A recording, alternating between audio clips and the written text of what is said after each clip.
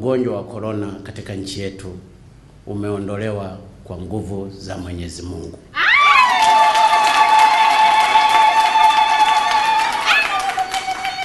Tunamshukuru sana Mungu wetu, tunamshukuru sana Mungu wetu.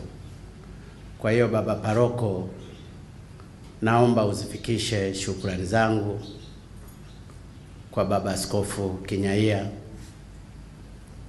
na maaskofu wote, mashehe, mapadri wote, wachungaji, kwa kumtegemea Mwenyezi Mungu.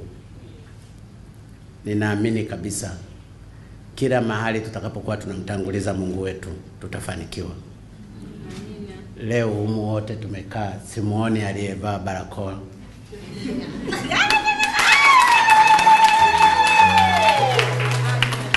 Hata wewe baba paroko kuchavaa chochote kufunika pua na mdomo wako, hata injili isingetoka vizuri.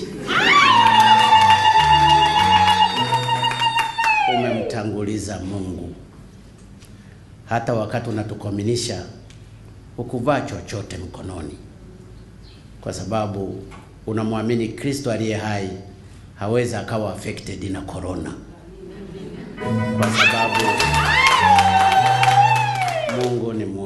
wa yote. Kwa hiyo nakushukuru sana baba paroko, ninawashukuru sana Wakristo wenzangu, ninawashukuru sana Watanzania.